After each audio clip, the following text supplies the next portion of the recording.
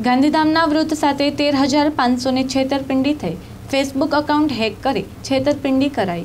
ગાંધીધામના વોર્ડ સાત ડી સિંધુબાગ ખાતે રહેતા ત્રેસઠ વર્ષીય મયુરભાઈ છાયાને બુધવારે બપોરે બાર વાગ્યે તેમના મિત્ર આનંદ દેસાઈના ફેસબુક એકાઉન્ટ પરથી એક મેસેજ આવ્યો હતો, જેમાં પોતે હાલ હોસ્પિટલના આઈસીયુમાં દાખલ હોવાનું અને અર્જન્ટ તેર હજાર પાંચસો રૂપિયાની જરૂરિયાત હોવાનું જણાવ્યું હતું. નાણાં સાંજે પરત કરી દેવાના વાયદા સાથે તેમાં એક મોબાઈલ નંબર લખેલો હતો. તે મોબાઈલ નંબરના ગૂગલ પે એકાઉન્ટમાં નાણાં જમા કરાવવાનું કહેવાયું હતું. મિત્રનો સંદેશ વાંચીને મયુરભાઈએ તરત જ જણાવેલા નંબર ઉપર તેર હજાર પાંચસો રૂપિયા જમા કરાવી દીધા હતા. નાણાં જમા કરાયા બાદ તેમને થેન્ક યુનો સંદેશ મળ્યો હતો અને વધુ દસ હજાર રૂપિયા જમા કરાવવા વિનંતી કરાઈ હતી. પરંતુ ખાતામાં તેટલી રકમ ના હોય. મયુરભાઈએ નાણાં જમા કરાવ્યા ન હતા.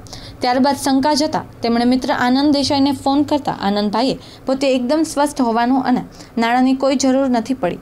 તેવું કહેતા મયુરભાઈને પોતાની સાથે ફ્રોડ થયું હોવાનો ખ્યાલ આવ્યો હતો. આ મામલે તેમણે ગાંધીધામ એ ડિવિઝન પોલીસ મથકે અજ્ઞાત મોબાઈલ નંબર ધારક સામે ચીટિંગ અને આઈટી એક્ટની નિકલમો તળે ફરિયાદ નોંધાવી છે. યોગાનુયોગ આ કેસની તપાસ એ ડિવિઝનમાં ટ્રાન્સફર થઈને આવેલા નવા police inspector M M Jadeja કરશે. ઉલ્લેખનીય છે કે ગત રવિવારે જાડેજાનું ફેસબુક અકાઉન્ટ પર હેક થઈ ગયું હતું અને આ જ મોડસ ઓપરેન્ડીથી અજ્ઞાત શખ્સે તેમના મિત્રો સંબંધીઓ પાસે નાણાંની માંગણી કરી હતી. આ બાબત ધ્યાને આવતા જાડેજાએ સૌને સાવધાન રહેવા અનુરોધ કર્યો હતો.